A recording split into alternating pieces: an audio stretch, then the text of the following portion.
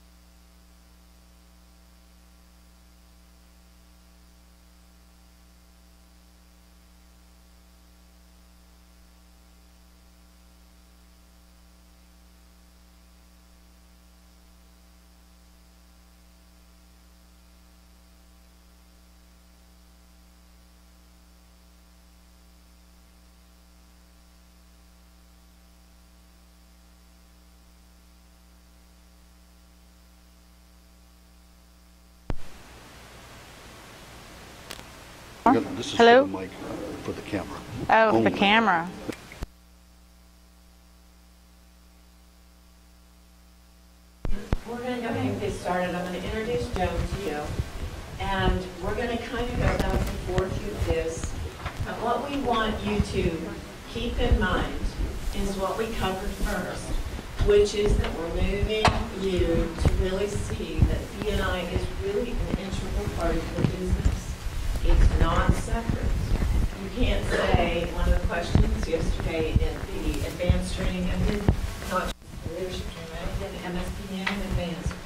Why I don't have any voice Oh, wait.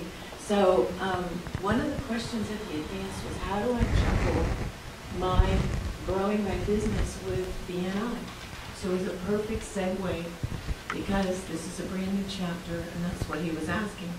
So I want you to remember the diagram that we put up at first, where we drew the sphere, where your business marketing is a part of your growing business.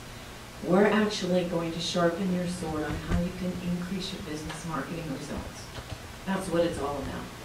So you're going to learn techniques and tips that are built into the system that are going to help you increase your results for your marketing, which is for whose business? My Yeah, your own, right? Your own business. So Joan's going to go first. We're going to go back and forth. I don't know how this is going to work on the microphone, but does this one pick up? We'll be fine. right, Joan, we'll be it back. Uh, We're recording this for the delinquents that weren't there here, because we really feel, I mean, I'm not going to keep anybody in the system or compensate them if they're not here, because you guys took the time to be here. And um, I want them to learn it because they're handicapped chapter if here. So that's, it's a really serious commitment to move forward because we're really moving and ramping up to a new level. And I really need everyone to get that mindset and know that we're, you know, we're moving in a better direction to get to the results. So Joan's going to come first. Joan is a, a director consultant. She's a member in the Arlington chapter at the present time. She's doing, um, travel. No, she's not misbehaving. I'm not getting her out of it. But, um, she, she directs quite a few chapters for me. And she's going to come up and take the roles, and she also served as a VP, so this is a perfect opportunity for her to kind of give you her feedback on that. So, um, Right here? Couldn't see which one it It blended in. make sure. Okay, I'm going to introduce Joan Foreman to you. Hello. It's really funny. I've never needed a mic in my whole life, so it's kind of whatever. Uh, my is Joan Folman, and um, I was a vice president for the Arlington chapter for a year. It was really, really hard because you're the hard person.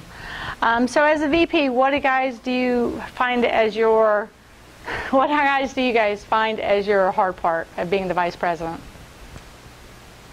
Get people to enter, enter everything in the system in time for me to run reports, so they show up when our visitors come, and I know there's thirty thousand things to close business that are signed up for. Right. So what else do people have hard times with? The people entering the the slips. Anything else? How about the attendance? The letters? You guys don't have any problem sending your letters out? Do you send your letters out? And so, how many have gotten to somebody that has letter number three? And are they still in the chapter? Good. Okay. Well, my, my issue when I was a vice president, just to give you some turn on it, is my chapter hadn't been sending the letters out when I took over. So here comes this military veteran of 22 years, and I followed the book. So I had my cha- I was doing the phone calls. I was letter one, two, three, out. I cleaned up a couple people, but I wasn't really the nicest. You know, I had that bad reputation. Um, but it needed to happen. Somebody had to do it, and so letters have to go. Um, currently, in my chapter that I'm in, we decided to use colored envelopes. Does anybody else use those colored envelopes? Because our chapter is like, oh, well, we didn't see it in the mail. Well, now we have a, hey, we got everything. We got a yellow envelope, we have a red envelope, and we have a green envelope. So we have three different envelopes. So can't miss them quite. So anyway, all right. So letters is a good thing. Then that's not one of the issues. As far as um, entering them, when I was a vice president, we didn't have that. We had, I entered every slip that everybody gave me. So um, currently, my chapter, we have probably maybe four people that really don't do computers or they're really not computer literate. So we have we asked the vice president to do it. It happens, but we've also brought in a laptop now. We have a laptop at the meeting, and we will log on as that member with the member, kind of to give them some lessons on how to do it. Um, so we get their password, we find out who's not doing it, we get the password set up and all that, so that when they come into the meeting, we can help them enter them. Then they go, oh, that's how you do it. Or I'm available my, as a director consultant, my chapters call me, or the people call me that say, I can't do it, walk me through it. So I will team view into their computer and I'll, I won't do it for them, but I show them how to do it. So there's just different ways to get the people to put it in. But if you have 30 people, 40 people, and only four of them aren't doing it, then that's really not that bad. But then the people who, like we have one guy who in my chapter says, Well, I have lots of close of business, I just haven't got around to entering it. People like that in my chapter were like, Put it on a slip.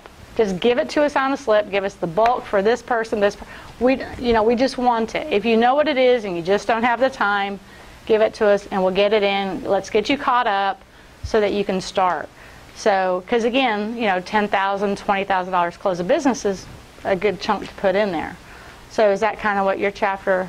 Yeah, we've gone back and forth, we've done that, helped them catch them up, and then we've all right, right now.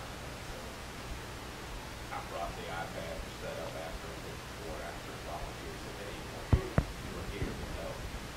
Yeah, yeah, it's a good idea. Does anybody else have any suggestions for him with his chapter where the people aren't entering the thank you for close of business? The only one I would do is that if I if you owed me the thank you for close of business and I knew you hadn't put it in, I'm going to put it in on a slip saying thank you to Joan for whatever amount of money because I want that under my name. And so it's not really helping the person entering it to put it in, it's helping the person who's getting it. So if that person owes, you just have to tell people, like if he owes you, you need to go up to him and say, hey, look, you haven't put it in. Put it in. I need that close of business under my name. Um, or just have them have the person put it in. So, so what other issues do you guys have as vice presidents with being the role of vice president? That's it. People not entering the slips. That yeah, that's next. You're the bank. Well, actually, he's the bank. I know you're not the bank. Okay, so because vice president's really easy. It's just making sure everybody's accountable, taking the attendance, turning the attendance in, and sending the letters, and making sure that happens. Um, Palms report. I know Ted does it because we it touched on it last time. The individual palms. How many of you vice presidents put the individual palms report up every week? You do, because you do, Because honestly, a couple of the chapters that I'm over, they do that, and the people, when they see that they're in the gray, they're like, ooh, how do I get out of that? Because some of the chapters are very competitive, and they really don't realize where they are. And so, like with his chapter, we've talked about doing CEUs, one to ones, you know, just trying to help them move up, and then we kind of add one thing each week to them. So, if you put it up, people really are competitive when it comes to things. I know. hmm It's very scary the first time you put it up.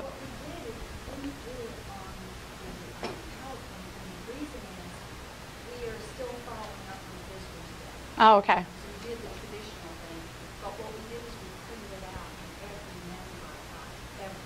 Yeah, that's what they do in their chapter. On the screen, it's everybody's up there, so you know where you rank against everybody in the chapter. And have you guys put it on the screen yet? put it on the screen, but we actually hand it out and, and, and listening to people, this, they'll go, what do I need to do? I mean, What, what is the one thing? And, and, and not tooting my horn, but I, I've not fallen below a hundred percent. Yeah, we know. Twenty, so, but people go, seriously, how do you do it? Well, okay, I- I- you know, I had three guests this month, come on, what, how many do you have? Mm-hmm. I had visitors, and I'm doing this, so all you have to do is a little bit more, but it does make them realize. It makes them realize where they stand with everybody else. What, what, what percentage you talking about? What do you get a percent? Um, that would be in the, There's a, there's a formula, I think. Do you have it, Ted, the formula for the, I've got the template, the template? the report that each one of the flash Do you have it, the template? Because I can have Janice send that template out to all the vice presidents, and it's just a matter of putting the data in, from what I understand. That, again, was after my term as vice president. That'd. It's like Wheaton Falls, but it's just, you know, the Okay. data, it's not a. I'll ask Jana, because, Take all the data and enter it in, and probably a fancy way of just exporting in there. and not having to do you know how to do that? Okay, so everybody get her card. She knows the way to do it. You probably know as well, because it was started in your chapter, wasn't it? Are we talking about the who got the money report? Ye- No, we're talking about the individual palms. You guys add on to yours, though. What's that? You add on to yours, though, other than just the report that Flash had put out, right? We've got our own, we've got a report, who got the money, because we track them. Thank you for both business and Palm, but we want to know who actually is getting the money, because as leadership team, we want to know what their experience is in the night. If their Mhm. goal is ten thousand, where are they? Is it likely that they're going to a good chapter? So it helps us kind of like do some reviews, but we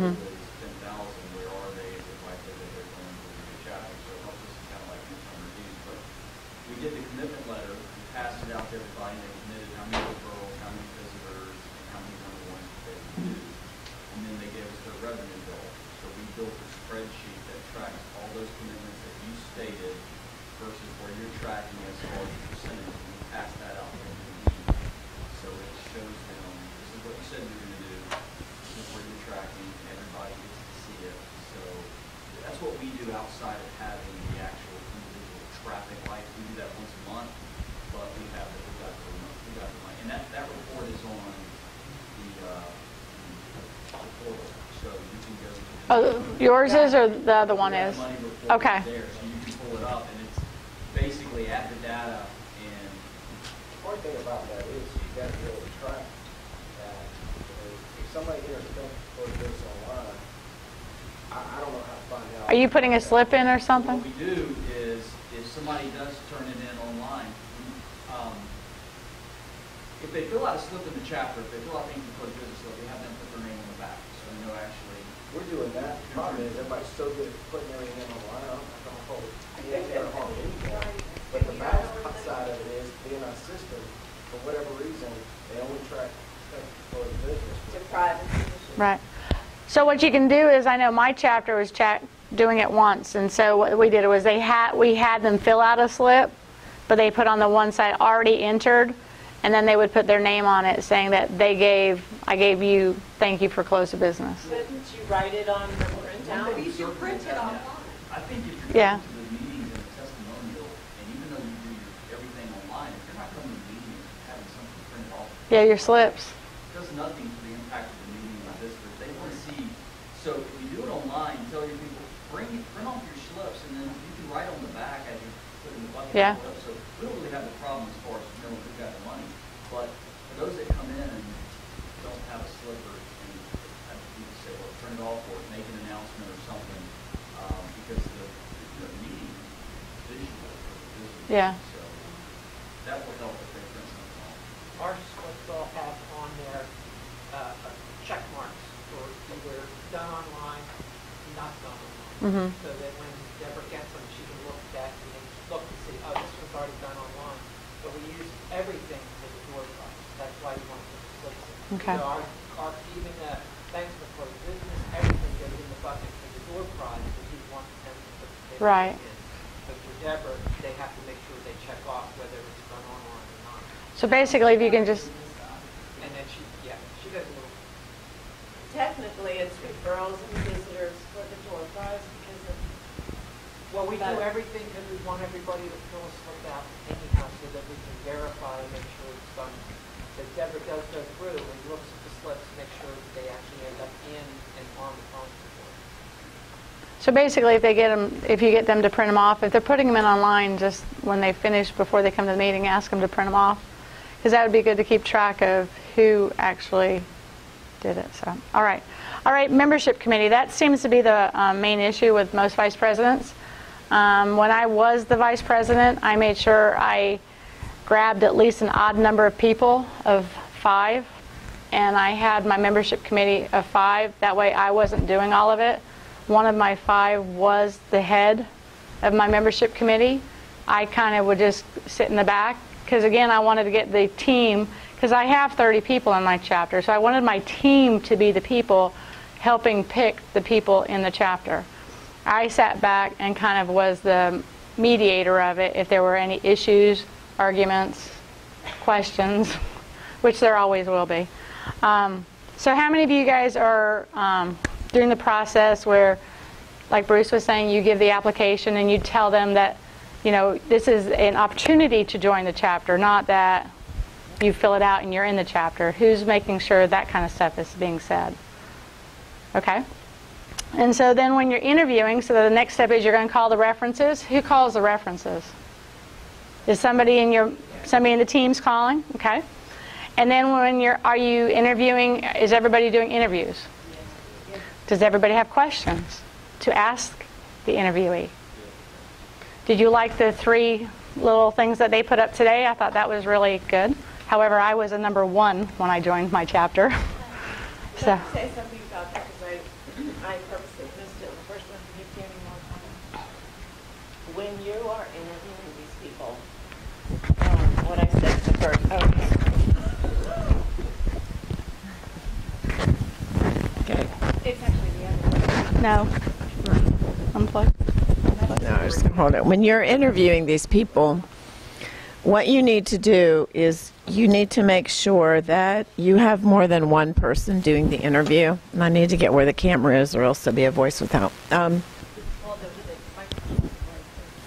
yes, right. You need to make sure that you have one them when you're doing the interview. Couple suggestions are, and the reason. Let me just ask you, why would you want more than one person? Person.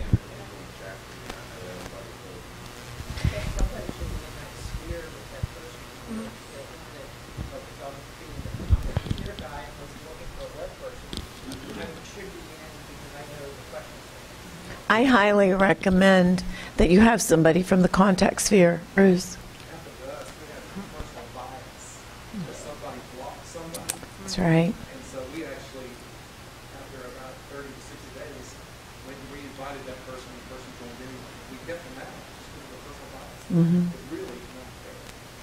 You have to be careful if somebody says something like that, and it's happened a couple of times. And if they're a personal friend that they brought, that person, even if they're on the membership committee, technically should not be on that interview. But when we're finding with the interviews, these three levels of business that you have, you can choose how you want to accept these people. Because the levels of business are this the very first level that we typically get are these beginner businesses that, and it depends, like Joan said, she was a beginner business. But you can, by your assessment of questions, figure out what level of beginner they are. If they are so brand spanking new that they know nothing and they're hoping you will build their business, that's the person you need to be aware of. But the only way you can do that is to ask them, what are your expectations about our group? What do you want out of us? And if they say, well, you guys are going to help me build my business, you know why I know that? Because I've had calls from uh, even coaches who say, you need to go search out a BNI and they'll help you build your business. And when they call me, I'm saying, who referred you? And it's somebody I don't know, but they're telling them about BNI. And one guy had never had any experience in his field at all. He was just beginning this. And he was in a critical role that you guys would have had to have more trust. And I said to him on the front, I didn't even send him to you. I said, you know what, we're really not for you yet. You need to have some experience before you come into our organization because I didn't want to waste your time. And he would have because he was very, very needy, right?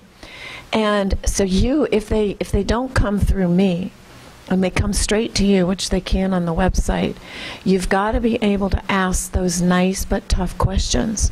And if you feel like they're totally needy and need you and they're desperate, that's unfair to accept them. Just say, look, you know, you're at a point where your business is overwhelming the heck out of you right now. Get some of these things in order, the ones we wrote, then come back to us in six months or so, and we'll help you with, you know, your next stage.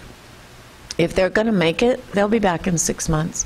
And if they're not, why did you put them in there? You know, you just kind of wasted your time. Tammy? Well, another best practice might be if you don't have that seat filled, you could go again to your 500 person marketing team and ask someone who is in the chapter that has that to do, they can do a phone interview in, you know, 20 minutes, they find out whether or not this person is a good fit for what they do.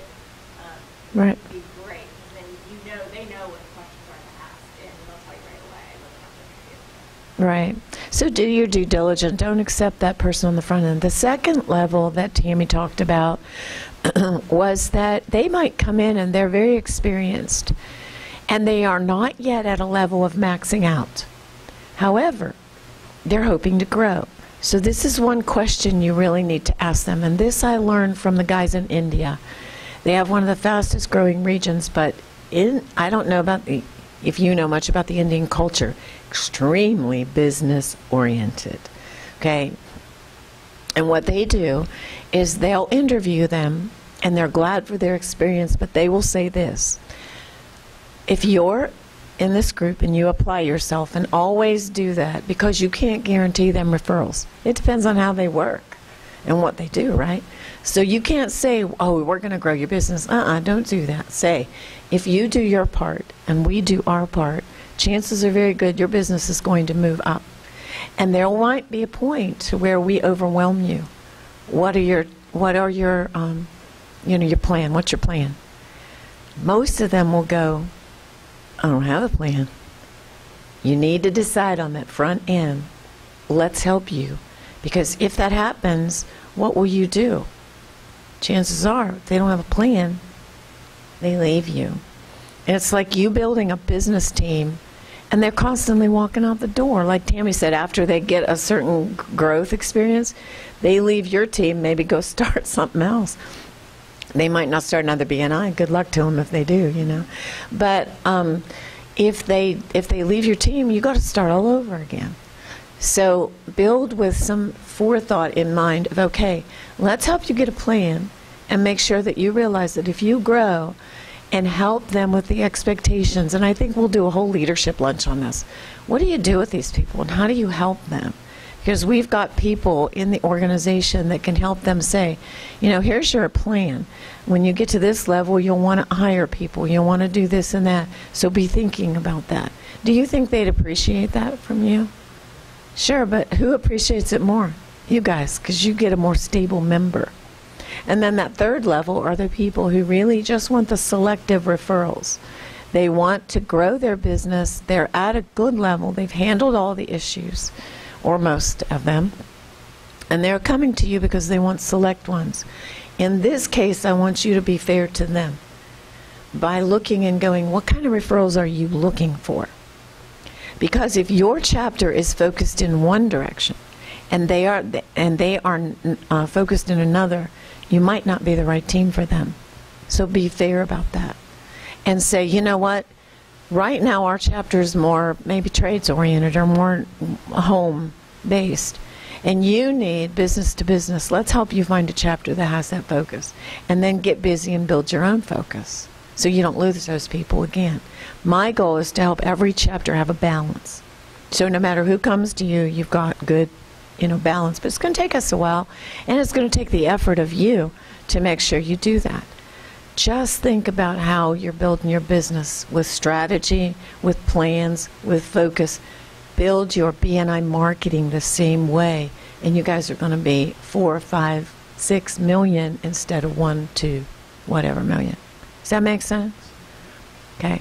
And remember, any work you put into that membership committee, those interviews, is for who?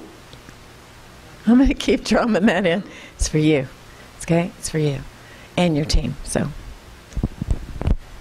When you when your teams are interviewing, um, I I just assume that chapters were doing more than one person interviewing because our whole membership team does the interview. Um, the way they do it is they kind of spread out the questions for them. But we also announced that today we're going to be interviewing Cheryl, and this is what she does. So if any of you would like to stick around for the interview, you're more than welcome. Because once again, it is the membership's team that you're building. And so you don't want them to come back and say, well, why did you bring them on, and why did you ask this, or why did you do that? So if you ask them, and they are on the power team, and they didn't stay, then they have nobody to blame but themselves for not staying. Um, how many are asking for their um, licenses? You know that basically if you're, like for me as a travel agent, I have E&O insurance. And they didn't ask me for mine, but I provided it because it's something that I as a business, I have to have. So my chapter makes sure, because we're mostly contractors. Yes? Uh, we had a farmer that didn't have liability until I challenged him. And I said, man, I'd love to work with you, but you don't have, and so he went and got it. Mm-hmm. And I mean, it's like the next month, he had a major claim.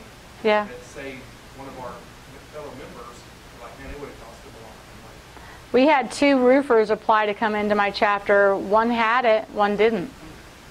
I mean, and he didn't even know he needed to have it, so he went and got it, but he we didn't select him for the chapter.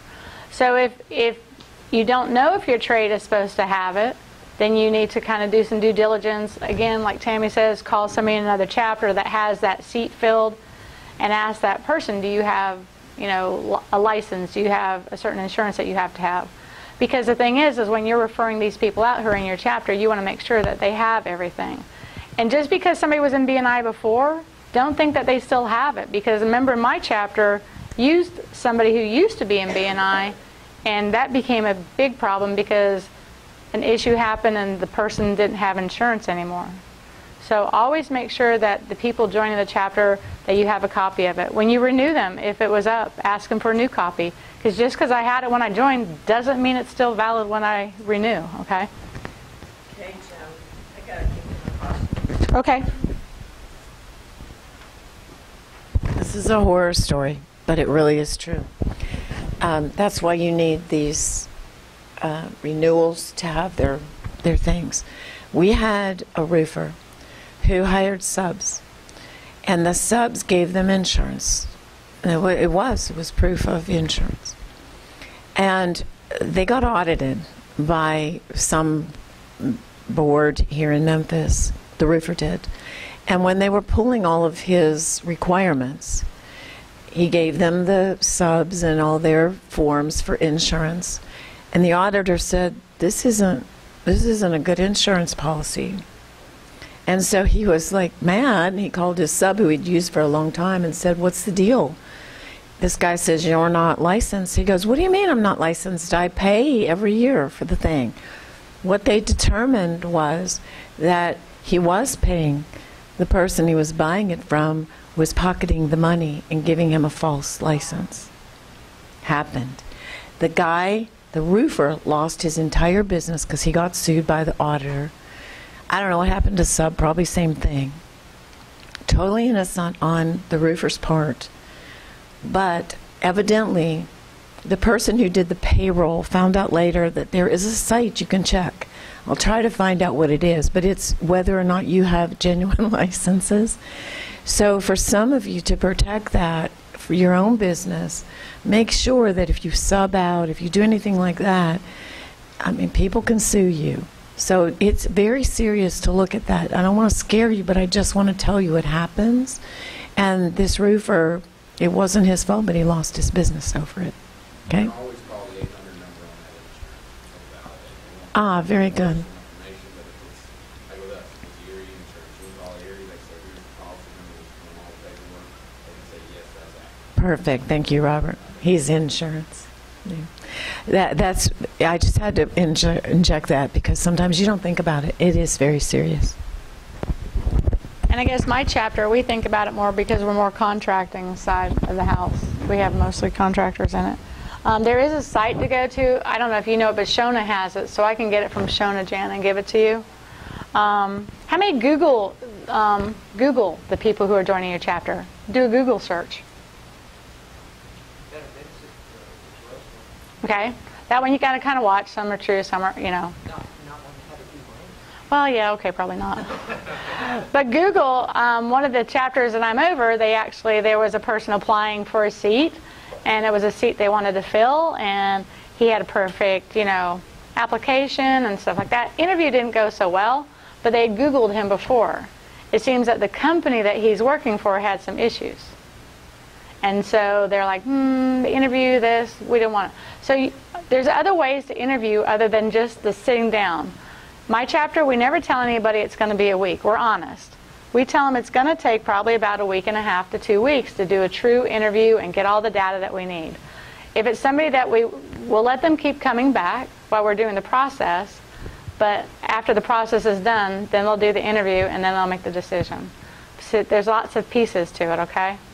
Any questions so far? Any other suggestions that people can do besides Google? They can't visit more than twice. Twice. though, Because if you take forever, which you should not. No. We've never taken that. We've never taken that long. I think one week is a difficult amount It's more like two.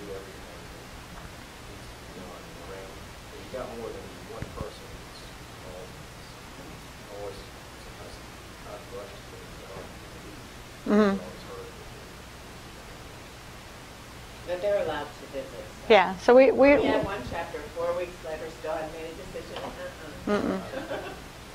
Ours is normally made by the second week, but it takes us, especially since we're doing the licenses and then all the rest of the stuff, it takes us about two weeks to make sure all their credentials are in, in line. So, um, okay, so once you've approved that visitor and you've gotten the application done, what do you guys do next? I know some chapters do it a lot better than others. Yeah, you- Well, the next step after you approve the application is have them get to get their payment Mm-hmm. process. Application has to be put in by the secretary treasurer, right? Um, And sent uh, into the BNI. Correct, but the problem that seems to happen Print some. all this out. We did not. Not print. The problem sometimes is that they all don't hook up when it gets to the office. Um, and the vice presidents, you need to make sure, basically, if your visitor host is entering the person when they came to visit, then your secretary treasurer, all they have to do is hit a button that says convert to a member, which I think I showed you guys. So it's so much simpler. You just have to add a couple more pieces to it. But the problem is, is that that application and that payment page are not hitting Brenda at the same time. So let me tell you what some of your delays are. If you don't have your secretary treasurer hit that convert button, it goes to the bottom of Brenda's stack. And if you don't give the copy of the payment to Brenda, they sometimes don't match up. So the easiest way to do this whole process is to have the visitor host do what they're supposed to do, enter it, the secretary treasurer hit convert, and then you take a copy of that application and a copy of the payment slip that that person brought in and send it at the same time.